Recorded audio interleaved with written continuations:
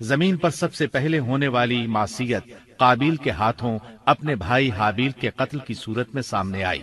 اللہ تعالیٰ نے قرآن مجید میں قابیل اور اس کے بھائی حابیل کا قصہ بیان کیا ہے۔ قابیل قرخت اور درست طبیعت کا مالک تھا، جبکہ اس کا بھائی حابیل رحم دل اور نرم طبیعت تھا۔ قابیل کھیتی باڑی کرتا تھا اور حابیل مویشی چراتا تھا۔ حابیل کے نرم دل ہونے کی ایک وجہ اس کا بکریاں چرانا تھا۔ کیونکہ ایک چرواہا اپنی بکری کو بھوکا دیکھ کر اسے چارہ کھلائے بغیر نہیں رہتا۔ نہیں وہ کسی بکری کو پیاسا دیکھ کر اسے بھول جاتا ہے۔ اپنے جانور پر اس کی طاقت سے زیادہ بوجھ بھی نہیں لادتا بنی نو انسان کی تعداد میں اضافے کے لیے اس وقت ایسا قانون تھا جو اب حرام ہے، اور وہ ہے بہن کے ساتھ نکاح۔ چونکہ اس وقت کے سب لوگ آدم علیہ السلام کی حقیقی اولاد تھے۔ اور آپس میں بہن بھائی تھے۔ اس لیے اس وقت کی شریعت کی روح سے قابیل اپنے ساتھ جڑواں پیدا ہونے والی بہن کے سوا کسی دوسری بہن سے شادی کر سکتا تھا۔ اور اسی طرح حابیل اپنے ساتھ جڑواں پیدا ہونے والی بہن کے علاوہ کسی دوسری بہن سے شادی کر سکتا تھا۔ اس کی صورت یہ تھی کہ قابیل کی شادی حابیل کی بہن سے ہو اور حابیل کی شادی قابیل کی بہن سے ہو۔ لیکن ہوا یہ کہ حابیل کی بہن خوبصورتی میں قابیل کی بہن سے کم تھی۔ اس لیے قابیل نے حابیل کی بہن سے شادی کرنے سے انکار کر دیا اور اپنی جڑواں بہن سے شادی کی خواہش ظاہر کی۔ لیکن ایسا کرنا آدم علیہ السلام کی شریعت میں حرام تھا۔ آپ نبی بھی تھے اور رسول بھی۔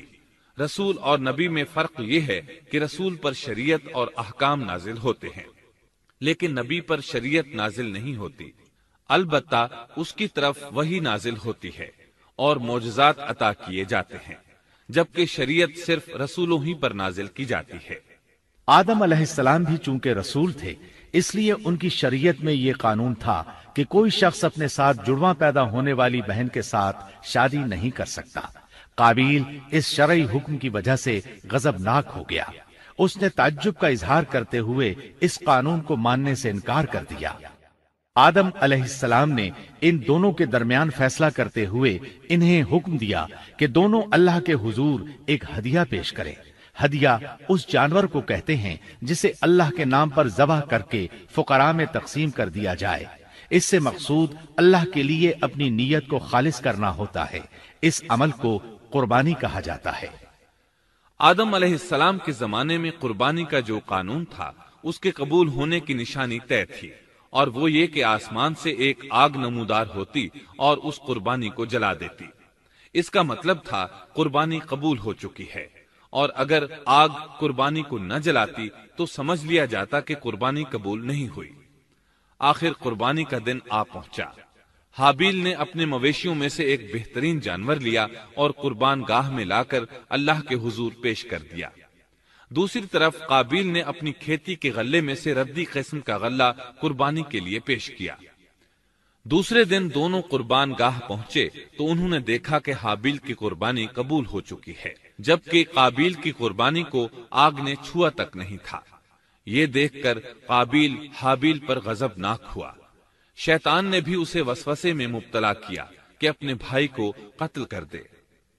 اس نے اپنے بھائی حابیل کو جان سے مار ڈالنے کا پختہ ارادہ کر لیا۔ اس وقت تک روئے زمین پر کوئی انسان قتل نہیں ہوا تھا۔ انسانی تاریخ میں یہ پہلا قتل ہے جس کا ارتکاب قابیل نے کیا۔ وہ اپنے بھائی حابیل کے پاس گیا اور اس سے بولا، میں تجھے قتل کر دوں گا۔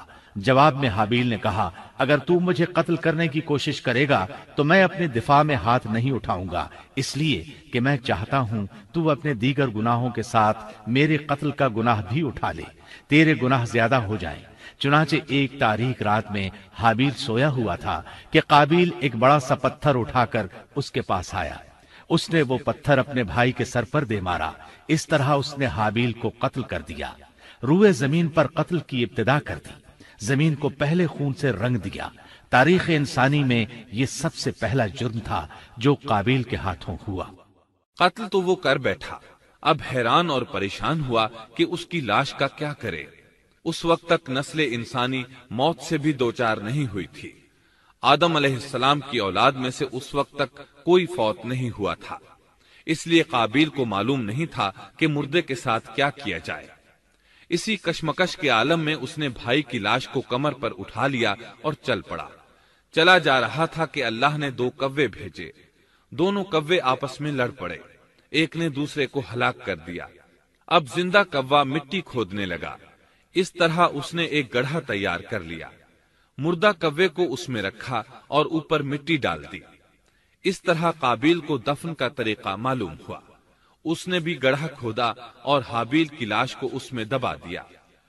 وہ اپنے کیے پر نادم ضرور تھا، لیکن اس نے اللہ سے معافی نہ مانگی۔ جبکہ انسان کے لیے ضروری ہے کہ اس سے کوئی گناہ ہو جائے تو اللہ سے معافی مانگے۔ قابیل اور حابیل کے درمیان جو مکالمہ ہوا اللہ تعالیٰ نے اس کا ذکر سورہ معاہدہ آیت ستائیس تا انتیس میں کیا ہے۔ آدم علیہ السلام کے دونوں بیٹوں کا کھرا کھرا حال بھی انہیں سنا دو۔ ان دونوں نے ایک نذرانہ پیش کیا۔ ان میں سے ایک ہی نظر تو قبول ہو گئی اور دوسرے کی قبول نہ ہوئی تو وہ کہنے لگا، میں تجھے مار ہی ڈالوں گا۔ اس نے کہا، اللہ تقوی والوں ہی کا عمل قبول کرتا ہے۔ گو تو میرے قتل کے لیے دسترازی کرے، لیکن میں تیرے قتل کے لیے ہرگز اپنا ہاتھ نہیں بڑھاؤں گا۔ میں تو اللہ تعالی پروردگار عالم سے خوف کھاتا ہوں۔ میں تو چاہتا ہوں کہ تو میرا گناہ اور اپنا گناہ اپنے سر پر رکھ لے اور دوزخیوں میں شامل ہو جائے۔ ظالموں کا یہی بدہ ہے۔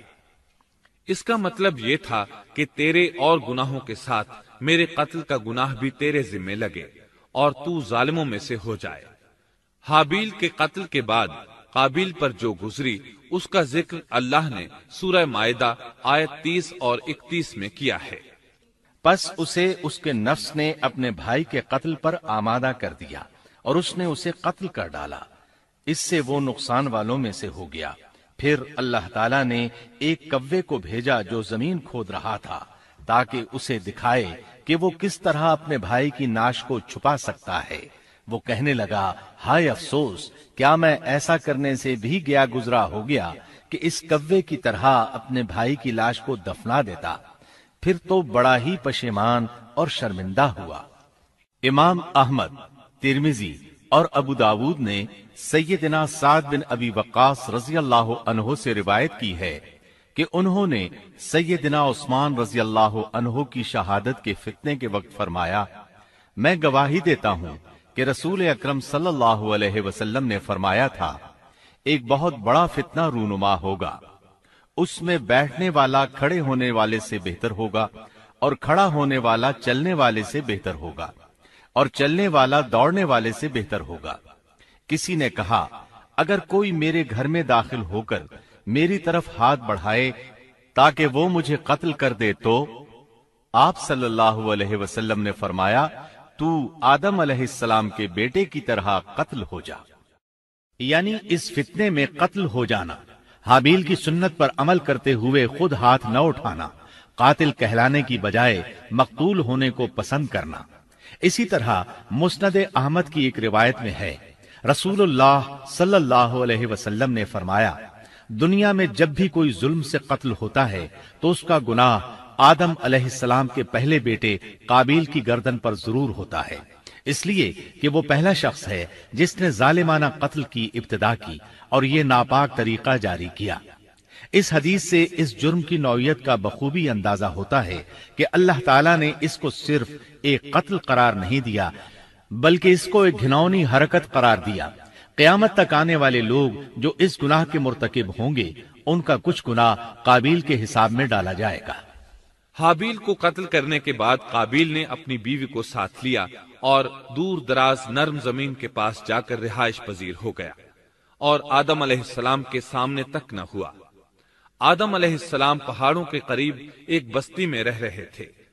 یہ ان سے بہت دور جا بسا تھا۔ اس طرح قابیل کا آدم علیہ السلام سے رابطہ بالکل ختم ہو گیا اور اس سے ایک نئی نسل کی ابتدا ہوئی۔ فحاشی اور اریانی کو ان کے ہاں عروج حاصل تھا۔